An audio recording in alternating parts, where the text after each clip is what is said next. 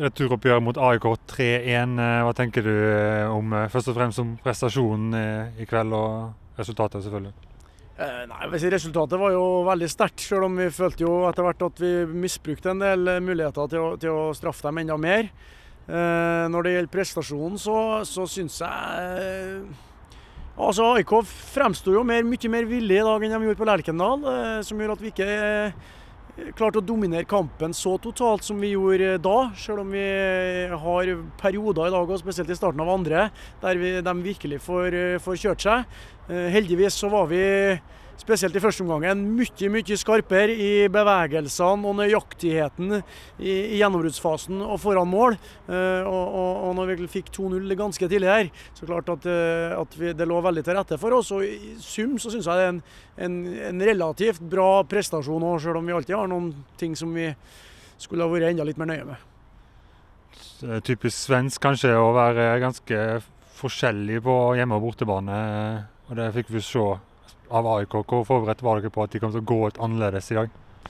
Det var vi jo relativt forberedt på. Vi har jo litt erfaring med det sjøl, og ikke minst så observerer vi jo eget A-lag og ser at eh, lag kan fremstå totalt ulikt eh, hjemme og borte. Og, og, spesielt når vi må på enda lengre turer nå, så tror jeg den forskjellen blir enda større eh, enn den blir nå når vi liksom bare spiller her i Skandinavia. Der er det jo litt mer Forskjellen blir litt mindre på hjemme og borte enn den blir når vi skal ut på, på lengre turer. Så har du en eh, spiss, omskolert midtbanespiller. Han har vært spiss en stund nå, og så topper han litt grann, eh, den progresjonen sin med en hat trick i dag. Hva syns du om Vegard Erlien? Altså, Vegard Erlien han synes jeg er en meget bra fotballspiller, og det har jeg syntes lenge. Eh, han har vist seg å være en mann for de kampene vi satser aller mest på. Eh, I tillegg så er han en veldig spennende fotballspiller. Så har vi har jobba mye med at han skal gå fra å være spennende nå til å bli enda det siste lille steget som gjør at han kommer seg enda nærmere og blir mer aktuell for toppfotballen. Og I forhold til det så synes jeg han tok et eh, veldig steg i riktig retning i dag. Eh, I tillegg til at, det selvfølgelig at han er helt matchagjørende. Så eh, selvfølgelig det blir en eh, tre store roser til Erlien i dag, så klart.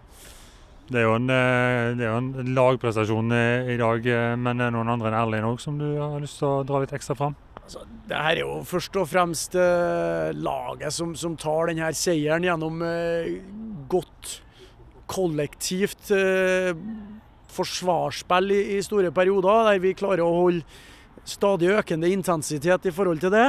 Eh, og, og, så syns jeg spesielt første gangen da, at vi, vi, var mye skarpere når de, når de virkelig avgjørende situasjonene eh, oppsto. Eh, så jeg tror vi tror vi selvfølgelig med Vegard med hat tricket, så det er mange som var gode her i dag, men, men først og fremst laget synes jeg som tar seg videre i dag. Så Nå er det en ny runde i Uefa Youth League. Skal lenger sørover i Europa til en uavklart motstander. men eh, det blir spennende å møte en ny annen fotballkultur igjen òg. Ja, det er jo kanskje det som var nesten artigst med å vinne her i dag. Det er jo gulrota som ligger både i forhold til å ta seg neste, i neste runde i seg sjøl, og ikke minst det med å få eh, helt ny type motstander som vi vet er fra Balkan, eh, og, og, som helt sikkert vil representere noe, noe helt annet enn det vi har møtt nå. Og også uten at jeg egentlig kan si det, så vil jeg jo tro at det er et lag som er på et nivå òg. Det skal vi finne ut mer om, selvfølgelig. Men at det er mulig å ta seg enda videre. Og det er jo kanskje viktigst av alt. Gratulerer. Ja, likeså.